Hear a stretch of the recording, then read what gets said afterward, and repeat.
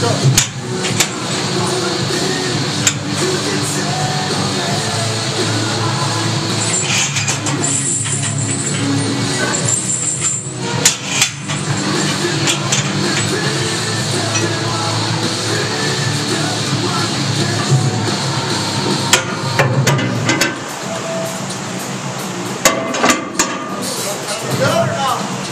I got a couple more problems. Fucking stars like